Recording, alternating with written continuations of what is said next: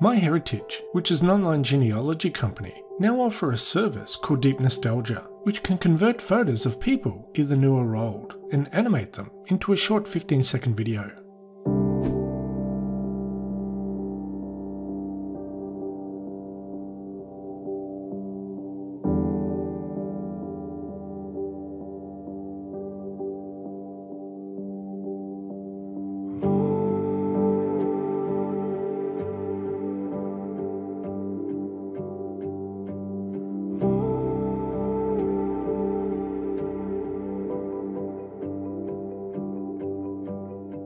Using AI, Deep Nostalgia can take photos from any camera and bring the subject to life.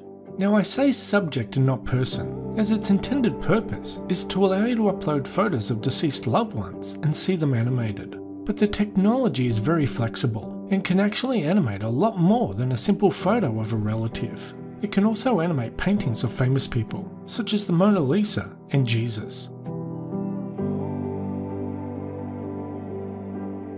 And statues like David and the Statue of Liberty.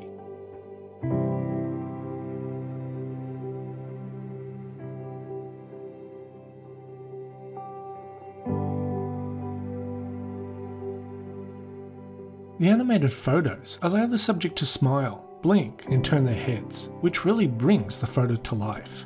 To create this animation, all the software requires is a clear forward facing image of a detailed face. Deep Nostalgia works by using several pre-recorded videos of facial movements, consisting of a fixed sequence of movements and gestures. Then using AI software, it will apply the one that works best for the photo you are trying to animate. Anyone can use the service by simply signing up for a free account on MyHeritage website and then upload a photo. Once you've done that, the process is automated. The site enhances the image before animating it into a short 15 second video.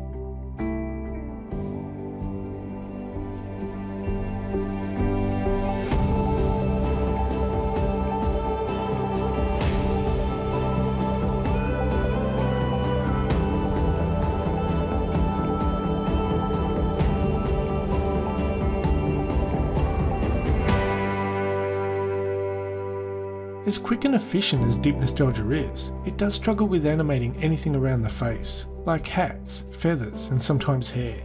But considering it creates these animations in just 15 to 20 seconds for free, I think it does an amazing job.